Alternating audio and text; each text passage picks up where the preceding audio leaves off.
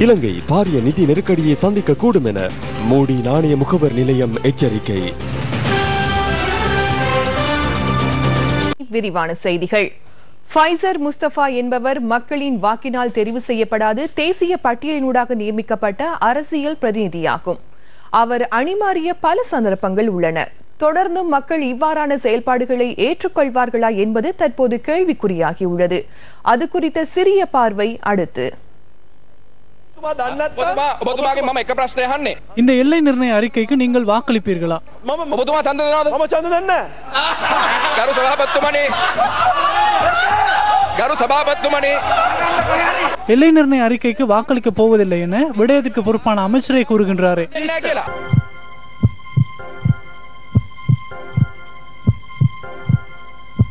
லங்கா இத்தியாசே பலவெனி வத்தாவட்ட இலங்கை வரலாற்றில் முதல் தடவையாக அரசாங்கத்தினால் முன்வைக்கப்பட்ட பிரேரணைக்கு எந்த ஒரு அமைச்சரோ பாராளுமன்ற உறுப்பினரோ வாக்களிக்கவில்லை.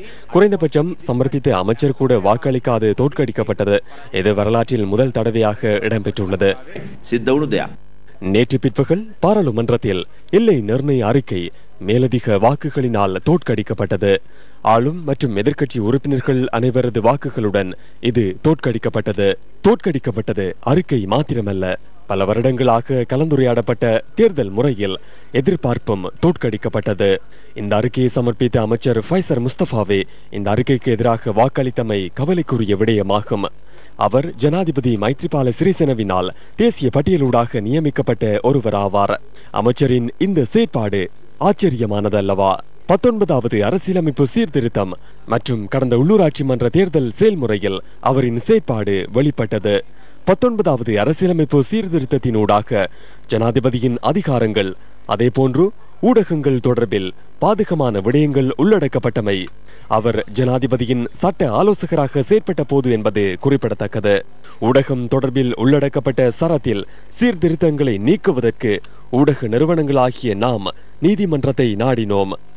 விளையாட்டு உபகரணங்கள் களஞ்சியப்படுத்தப்பட்டுள்ள கொள்கலன்களை அதிகாரத்தை பயன்படுத்தி திறந்து ஊடக கண்காட்சியை நடத்தியதனூடாக ஃபைசர் முஸ்தபா முன்னாள் விளையாட்டுத்துறை அமைச்சரை அபகீர்த்திக்கு உட்படுத்த முயற்சித்தார். மக்கள் இறையாண்மையை பிரதிநிதித்துவப்படுத்தும் உயரிய சபையில் அவரின் செயற்பாடுகள் தொடர்பில் இறுதி பகுப்பாய்வு மக்களினால் எடுக்கப்படும் என்பதை அமைச்சர் நினைவில் வைத்துக் கொள்ள வேண்டும். நாங்கள் நேற்று தோற்கடித்த அந்த அறிக்கையை திருத்த முடியாது. திருத்தி அமைக்கக்கூடிய அளவுக்கு பழுதான ஒரு கட்டிடம் அல்ல அது. முழுக்க முழுக்க இடித்து தள்ளி புதிய கட்டிடத்தை கட்ட வேண்டும். அந்த புதிய கட்டிடம் தான் பழைய தேர்தல் முறைமை. அந்த முறைமையை செய்துவிட்டு நாங்கள் மாகாண சபையில் அமைத்துவிட்டு பிறகு வந்து நாங்கள் பார்த்து தேர்தல் முறை மாற்றுவதற்கான முயற்சிகளை எடுப்போம். பிரச்சனை கிடையாது. ரெண்டு வாரங்களுக்குள்ளே அமைச்சரவையிலே ஒரு சட்டமூலம் கொண்டு வரப்படும். சம்மதம் பெறப்படும். பிறகு அது பாராளுமன்ற கொண்டு வரும் நிறைவேற்றப்படும். அது மூலமாக இன்றைய சட்டமாக இருக்கக்கூடிய மாகாண சபையின் புதிய தேர்தல் முறைய சட்டம் மூலம் இடைநிறுத்தப்பட்டு ரிப்பீல் செய்யப்பட்டு பழைய முறை வரும். பொறுத்திருந்து மாகாண எல்லை சம்பந்தமாக இன்று இவர்கள் கருத்து நேற்று பாராளுமன்றத்தில் நிறைய பேர் பேசினார்கள். அவர்கள் கருத்தை கூறினார்கள். நாங்கள் அதுக்கு வாக்களித்ததாக கூறினார்கள். அது உண்மை. எங்களுக்கு அந்த நேரத்திலே அவர்கள் கூறப்பட்டது என்னவென்றால் சிறுபான்மை இனத்துக்கு உரியவாறு நாங்கள் அந்த எல்லையை பிரிப்போம் என்று கூறியிருந்தார்கள். ஆனால் இன்று பிரிக்கப்பட்ட இல்லை. சிறுபான்மை சமூகத்துக்கு உகந்ததாக இல்லை. அதுக்காகத்தான் நாங்கள் எதிர்த்தோமே தவிர நாங்கள் அன்று கை வைத்து விட்டு இன்று அஹ், எதிர்க்கிறோம் என்றால் இதுதான் காரணம். கிளிநொச்சி மாவட்டத்தில் நிலவி வரும் வறட்சி காரணமாக மூவாயிரத்துக்கு மேற்பட்ட குடும்பங்கள் பாதிக்கப்பட்டுள்ளன.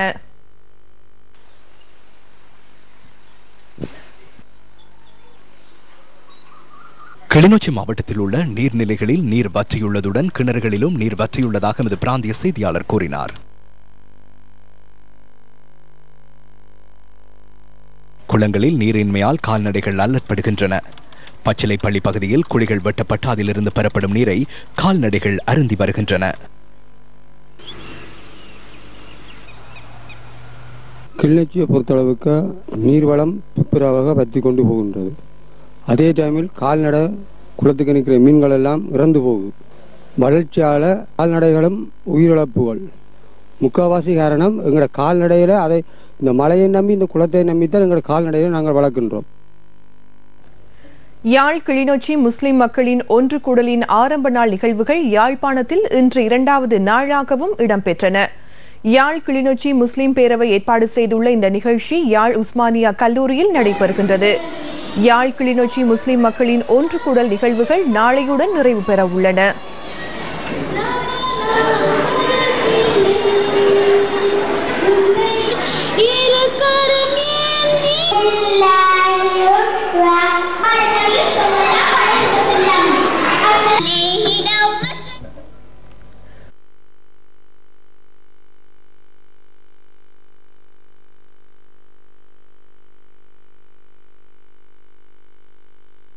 கூறினார்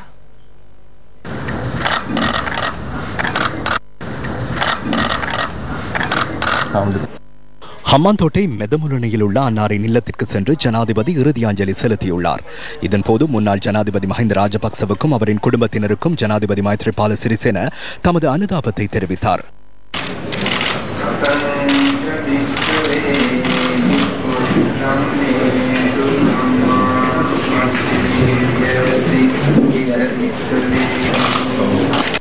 மஹிந்த ராஜபக்ச மற்றும் முன்னாள் சபாநாயகர் சமால் ராஜபக்ச ஆகியோருடன் ஜனாதிபதி கலந்துரையாடலில் ஈடுபட்டார். உயர்கல்வி அமைச்சர் விஜயதாஸ் ராஜபக்ச உள்ளிட்ட மேலும் சில அரசியல்வாதிகளும் சந்திரா ராஜபக்சவின் பூத உடலுக்கு இன்று இறுதி அஞ்சலி செலுத்தியுள்ளனர்.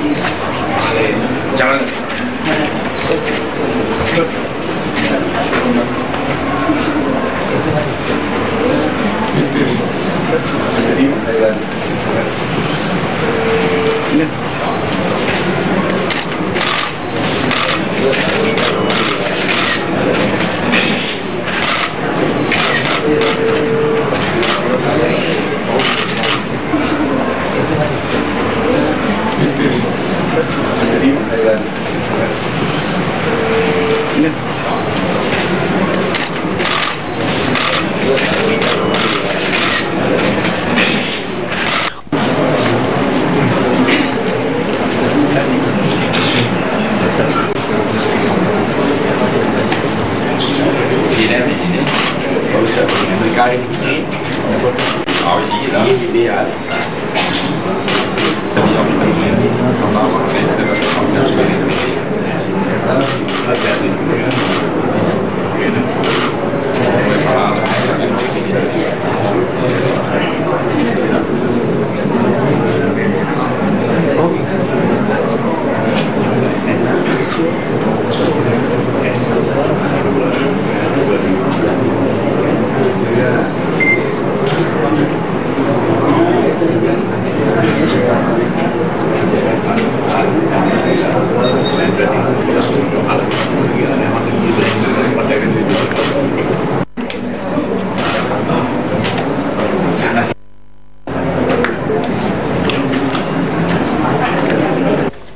அன்னாரின் இறுதிக்கிரைகள் மதுமுருணையில் உள்ள அன்னாரின் குடும்ப மயானத்தில் இன்று நடைபெற்றது.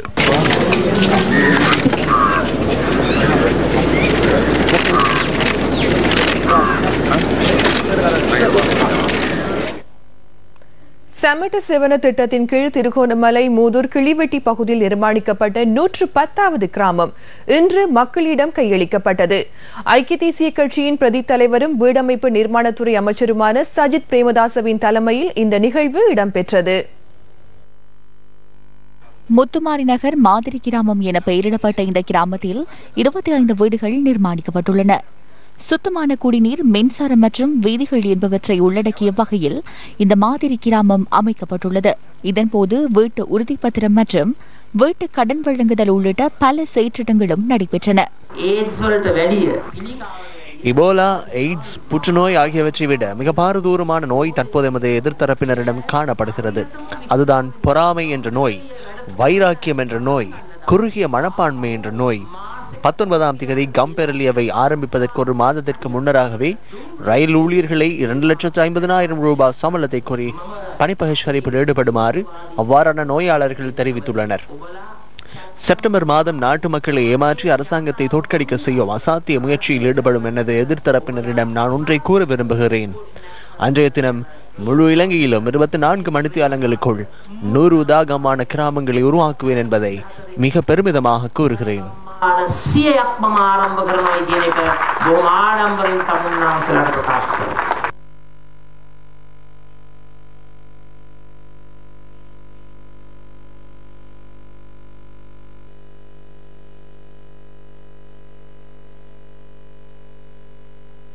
போன்று இந்த நாட்டிலே சாதி சமய மொழி பிரதேச வேறுபாடு இல்லாமல் வீடு இல்லாத மக்களுக்கு வீடை கட்டி கொடுக்க வேண்டும் என்று அவருடைய தந்தையாருடைய அந்த லட்சியத்தை குறிக்கோளை நிறைவேற்றுகின்ற ஒரு இளம் அரசியல்வாதியாக என்னுடைய அமைச்சர்கள் இருக்கின்றார்.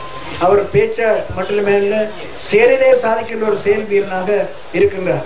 மக்களோடு மக்களாக வாழ்ந்து மக்களுடைய குறைகளை அறிந்து மக்களுக்கு சேவை செய்கின்ற ஒரு நல்ல அமைச்சராக நாங்கள் நாங்கள் பார்க்கின்றோம்.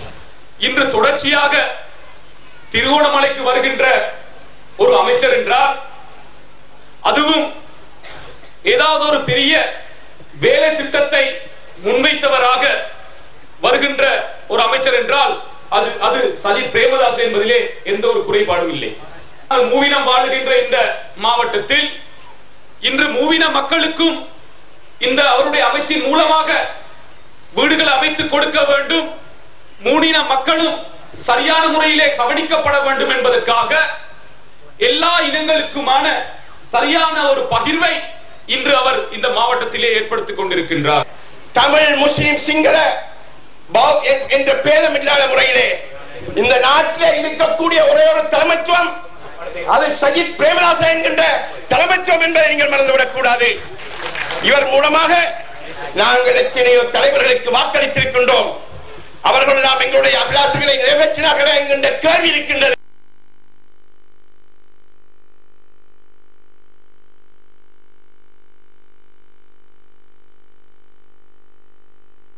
எட்டாம் திகதிகளில் நடைபெறவுள்ள இந்து சமுத்திர மாநாட்டில் கலந்து கொள்வதற்காக பிரதமர் உள்ளிட்டோர் அங்கு விஜயம் மேற்கொண்டுள்ளனர். பிராந்திய வலயத்தின் புதிய கட்டமைப்பை உருவாக்குதல் என்ற துணிப்பொருளில் இந்த மாநாடு நடைபெறவுள்ளது. இந்த மாநாட்டில் இந்து சமுத்திர வலயத்தின் மூலோபாயம் மற்றும் பொருளாதாரத்தை மேம்படுத்தல் பாதுகாப்பு வர்த்தகம் நிர்வாகம் உள்ளிட்ட விடயங்கள் தொடர்பில் ஆராயப்பட உள்ளது எதிர்வரும் இருபத்தி ஏழாம் தேதி ஆரம்பமாகும் இந்த மாநாட்டில் பிரதமர் ரணில் விக்ரமசிங்க உரையாற்ற உள்ளார் சிங்கப்பூர் பங்களாதேஷ் ஆகிய நாடுகளின் பங்களிப்பில் நடத்தப்படும் இந்த மாநாட்டில் பிராந்திய வலயத்தின் பிராந்திய வலயத்தின் பல நாடுகளின் அரசு தலைவர்கள் மற்றும் அமைச்சர்கள் பங்கேற்க உள்ளனர். மாநாட்டில் கலந்து கொள்வதற்காக பிரதமருடன் எட்டு பேர் கொண்ட தூதுக்குழுவினர் வியட்நாமுக்கு பயணித்துள்ளமை குறிப்பிடத்தக்கது. பிரதமர் ரணில் விக்ரமசிங்க வியட்நாமுக்கு விஜயம் செய்வது மற்றுமொரு வர்த்தக உடன்படிக்கையில் கைச்சாத்திடுவதற்காகவா என ராஜாங்க அமைச்சர் சுஜீவ சேனசிங்கவிடம் ஊடகவியலாளர்கள் இன்று வினவினர். මට යන යන තැන කියලා යන්නේ ඒක பிரதமர் என்னிடம் கூறிவிட்டு செல்வதில்லை கூறிவிட்டு சென்றிருந்தால் உங்களுக்கு பதில் வழங்கி இருக்க முடியும் அவ்வாறான உடன்படிக்கை காணப்பட்டால் அடுத்த முறை பார்க்கலாம் வியட்நாமுடன் உடன்படிக்கை கச்சாத்திடுவதற்கு அடித்தளமிட்டிருக்கவில்லை கச்சாத்திட்டால் சிறந்தது சிங்கப்பூருடன் இருபத்தெட்டு வர்த்தக உடன்படிக்கைகள் கச்சாத்திடப்பட்டுள்ளன ஐந்தாறு வருடங்களாகும் போது உங்களின் கையில் உள்ள அந்த கேமரா இலங்கையில் தயாரிக்கப்படும் තියෙන කැමරක மூடி எனப்படும் சர்வதேச நிதித்தர நிர்ணய நிறுவனம் அண்மையில் தமது புதிய தரப்படுத்தலை வெளியிட்டது உலகில் பாரிய பொருளாதார நெருக்கடியில் சிக்கியுள்ள மற்றும் அபாய நிலையிலுள்ள நாடுகள் குறித்து இந்த அறிக்கையில் சுட்டிக்காட்டப்பட்டுள்ளது. இந்த அறிக்கைக்கு அமைய கடந்த கால பகுதியில் இலங்கையின் அந்நிய செலாவணி இருப்பு அதிகரித்துள்ளது. எனினும் முறையான நீண்டகால அந்நிய செலாவணி விநியோகமின்மையால் இரண்டாயிரத்து பத்தொன்பது இரண்டாயிரத்து இருபத்தி மூன்றாம் ஆண்டுகளுக்கு இடையில் மீள செலுத்தப்பட உள்ள சர்வதேச கடன் அதிகரித்துள்ளது. இதனால் அதன் மீது சுமத்தப்படும் சுமை அதிகரிக்கப்பட்டுள்ளதாக அறிக்கையில் குறிப்பிடப்பட்டுள்ளது. மொத்த தேசிய உற்பத்தியின் பதினெட்டு தசம் ஐந்து வீத கடன் தேவையாக உள்ளதாக மூடி அறிக்கையில் குறிப்பிடப்பட்டுள்ளது. இவை உள்ளிட்ட மேலும் சில விடயங்கள் காரணமாக சர்வதேச நிதி நிலைமைக்குள் இலகுவில் அகப்படக்கூடிய நாடு என இலங்கை தரப்படுத்தப்பட்டுள்ளது. கொடுக்கல் வாங்கல் செய்யும் உத்தியோகபூர்வ நாணய அலகாக சீனாவின் யுவானை ஏற்றுக்கொள்வதற்கு சர்வதேச நாணய நிதியம் தீர்மானித்துள்ளது. அதற்கமைய யுவான் நாணய அலகிற்கு அமெரிக்க டாலருக்கு சமமான அங்கீகாரம் வழங்கப்படுகிறது. இதனால் உலக சந்தையில் அமெரிக்க டாலருக்குள்ள முன்னுரிமை பின்னடைவை சந்திக்கும். இதேவேளை இலங்கை ரூபாவின் விற்பனை விலை அமெரிக்க டாலருடன் ஒப்பிடுகையில் நூற்று அறுபத்தி இரண்டு ரூபாய் பதினோரு சதமாக வீழ்ச்சி அடைந்துள்ளது. வரலாற்றில் அமெரிக்க டாலருடன் ஒப்பிடுகையில் ரூபாவின் பெறுமதி இவ்வாறு பாரிய அளவில் வீழ்ச்சி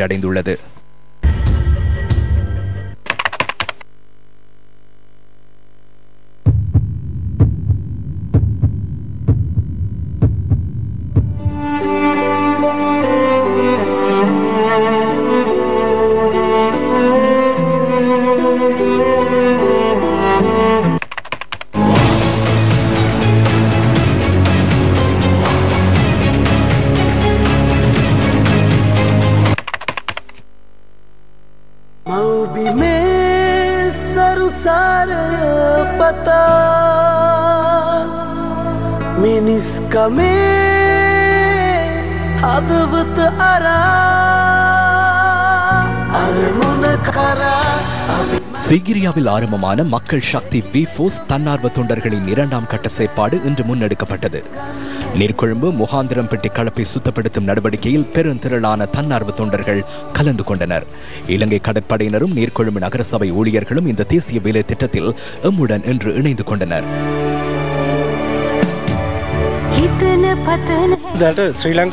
கழிவு நெருக்கடி இன்று பாரிய சிக்கலாக மாறியுள்ளது. மக்களின் மனநிலையை மாற்ற வேண்டியுள்ளது. அந்த வகையில் விஃபோர்ஸ் படையணியின் சேவைக்கு மதிப்பளிக்க வேண்டும். இயலுமானவரை பிளாஸ்டிக் மற்றும் போத்தல்களை கடல் மற்றும் கலப்பு பகுதிகளுக்கு வீச வேண்டாம் என்று கேட்டுக்கொள்கிறோம்.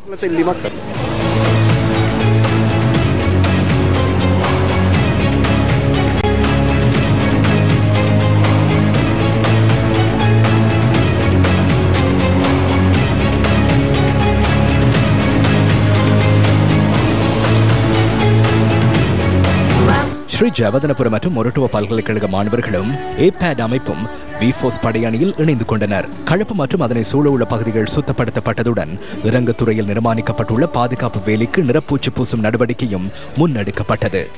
சுத்தப்படுத்தும்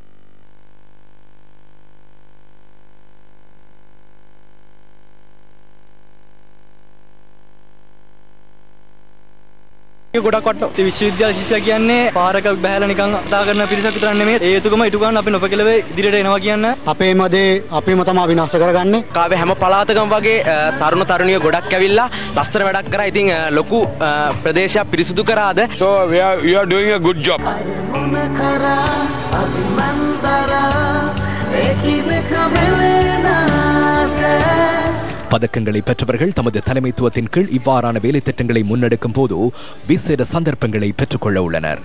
மக்கள் சக்தி விஃபோஸ் குழுவினர் செப்டம்பர் மாதம் இருபத்தி இரண்டாம் தேதி ரத்னபுரிக்கு செல்ல உள்ளமை குறிப்பிடத்தக்கது.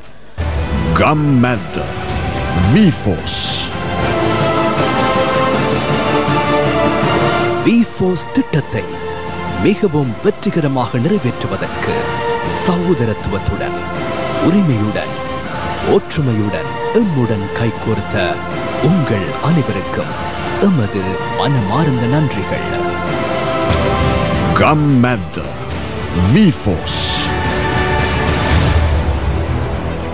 சமூக ஆய்வாளரும் பேராசிரியருமான எஸ். எச். ஹஸ்புல்லா இன்று காலமானார். யாழ் பல்கலைக்கழக பேரவை கூட்டத்தில் கலந்து கொள்வதற்காக சென்றிருந்த நிலையில் பேராசிரியர் எஸ் எச் ஹஸ்புல்லா காலமானார். ஆயிரத்து தொள்ளாயிரத்து ஐம்பதாம் ஆண்டு செப்டம்பர் மாதம் பதினோராம் திகதி மன்னார் எரிக்கலம்பிட்டியில் பேராசிரியர் ஹஸ்புல்லா பிறந்தார். முஸ்லிம் சமூக ஆய்வாளராகவும் சிறந்த சிந்தனைவாதியாகவும் பேராசிரியர் ஹஸ்புல்லா திகழ்ந்தார்.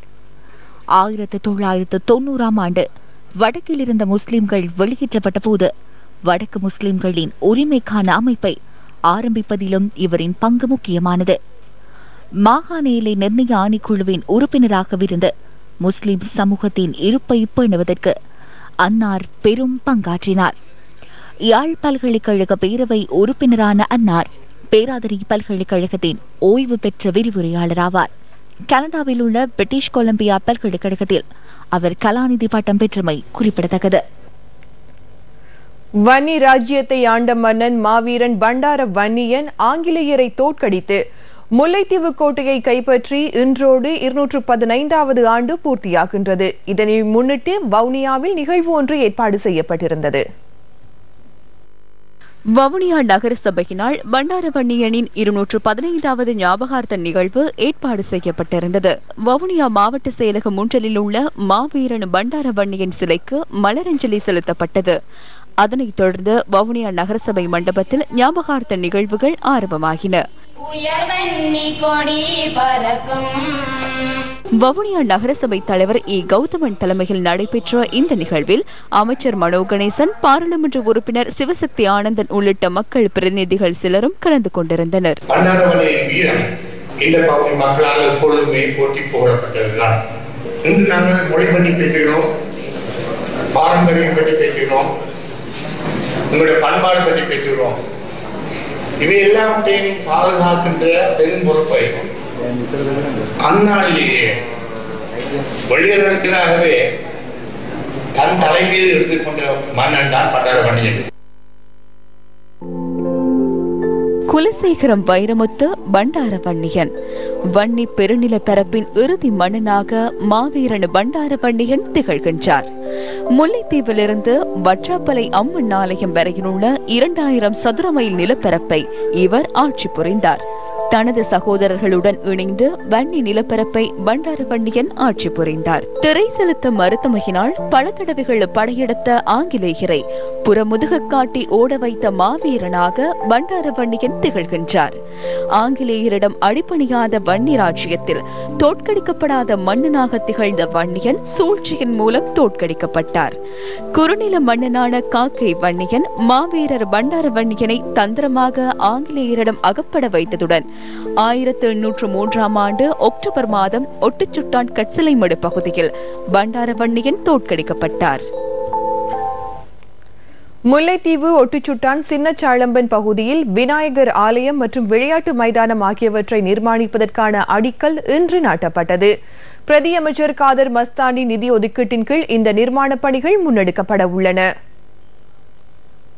முல்லைத்தீவு ஒட்டுச்சுட்டான் சின்ன சாலம்மன் ஸ்ரீ சித்தி விநாயகர் ஆலயத்தின் நிர்மாண பணி. பிரதியமைச்சர் காதர் மஸ்தான் தலைமையில் இன்று ஆரம்பிக்கப்பட்டது. பதினைந்து லட்சம் ரூபாய் செலவில் இந்த விநாயகர் ஆலயம் நிர்மாணிக்கப்பட உள்ளது இதேவேளை பத்து லட்சம் ரூபாய் செலவில் நிர்மாணிக்கப்படவுள்ள விளையாட்டு மைதானத்திற்கான அடிக்கலும் இன்று நாட்டப்பட்டது. சிலர்கள் வந்து உரிமைகள் தான் எங்களுக்கு முதலில் வேணும் அபிவிருத்தியை பத்தி பேசுவதில்லை என்று. ஆனால் அவர்கள் அரசாங்கத்துக்குரிய சகல வரப்பிரசாதங்களையும் எடுத்துக்கொண்டு இங்கு ஒரு வாழ்க்கை மறுவாட்சிக்கு அங்கிட்ட ஒரு வாழ்க்கையும் சிலர் வாழ்கின்றார்கள். அபிவிருத்தி தேவையில்லை உரிமைதான் வேண்டும் என்பதுங்கிறதுல அதுல என்ன என்னுடைய கருத்து என்றால் உரிமையுடன் கூடிய அபிவிருத்தி இல்லாட்டி அபிவிருத்தியுடன் கூடிய உரிமை எங்களுக்கு பெறப்பட வேண்டும். ஐக்கிய தேசிய கட்சியின் பாராளுமன்ற உறுப்பினர் முஜிபுர் ரஹ்மான் நேற்று பாராளுமன்றத்தில் இவ்வாறு கருத்து தெரிவித்தார். முஸ்லிம் இனத்தவரால் அல்லது தமிழ் இனத்தவரால் இந்த நாட்டின் ஜனாதிபதியாக முடியுமா? முடியாது. சட்டத்தில் எந்தவித தடையும் இல்லை. ஆனால் தேர்தலில் போட்டியிட்டால் அவ்வாறு எவராலும் ஜனாதிபதியாக முடியாது. இதுவே யதார்த்தம். பிரதமராக முடியுமா? பிரதமராகுவதற்குள் வாய்ப்புகள் மிகவும் குறைவு. லக்ஷ்மண்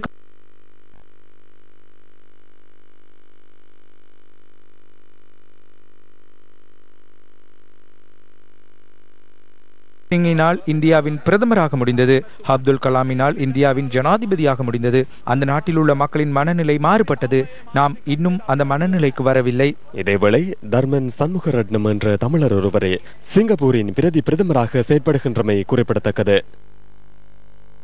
திருகோணமலை மறை மாவட்டம் தனி மறை மாவட்டமாக பிரகடனப்படுத்தப்பட்டதன் நூற்று இருபத்தி ஐந்தாவது ஆண்டு நிறைவு இன்று கொண்டாடப்பட்டது. திருகோணமலை மறைமாவட்டம் தனி மறைமாவட்டமாக பிரகடனப்படுத்தப்பட்டதன் நூற்றி இருபத்தி ஐந்தாவது ஆண்டு நிறைவு நன்றி திருப்பலி தூய மரியன்னை பேராலயத்தில் ஒப்புக் கொடுக்கப்பட்டது திருகோணமலை மறைமாவட்ட ஆயர் கிறிஸ்டி நாயல் இம்மானுவல் ஆண்டகையுடன் யாழ் மறைமாவட்ட ஆயர் ஜஸ்டின் பெர்னார்ட் ஞானப்பிரகாசம் ஆண்டகை மட்டக்கிழப்பு மறைமாவட்ட ஆயர் ஜோசப் பொன்னையா ஆண்டகை மற்றும் ஓய்வு நிலை ஆயர் கிங்ஸ்லி சுவாம்பிள்ளை ஆண்டகை ஆகியோர் இணைந்து இந்த கூட்டு திருப்பலி ஒப்புக் கொடுத்தனர் ஆண்டவர் முன்னால் இருந்து அழுதேன். இறைவா. திருகோணமலை மறைமாவட்டம் ஆயிரத்து எண்ணூற்று தொன்னூற்று மூன்றாம் ஆண்டு. அனுராதபுரம் மறைமாவட்டத்திலிருந்து தனி மறைமாவட்டமாக பாப்பரசர் பதிமூன்றாம் லியோவினால் பிரகடனம் செய்யப்பட்டது. மறைமாவட்டத்தின் முதலாவது அப்போஸ்தலிக்க பரிபாலகராக ஜோசப் வென்ரி தாண்டகை நியமிக்கப்பட்டிருந்தார். சின்ன கதிர்காமம் என அழைக்கப்படும் வரலாற்று சிறப்புமிக்க யாழ் தொண்டைமனாறு செல்வ சந்நிதி ஆலய மகோற்சவ பெருவிழாவின் ரதோற்சவம் இன்று நடைபெற்றது. இம்மாதம் பதினோராம் திகதி கொடியேற்றத்துடன் ஆரம்பமான மகோத்சவத்தில் இன்றைய தினம் முத்தேர் பவனி நடைபெற்றது. சந்நிதியான் விநாயக பெருமான் மற்றும் நடராஜ பெருமான் முத்தேரில் வலம் வந்ததுடன் பக்தர்களுக்கு அருணாசி வழங்கினர்.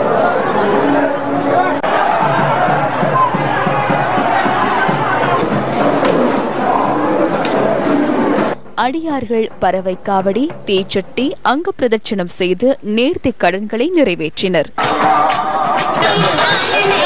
யாழ் தொண்டைமானாறு செல்வச்சொன்னதி ஆலயத்தின் வருடாந்த மகோற்சவத்தில் நாளை தீர்த்தோற்சவம் இடம்பெறவுள்ளது.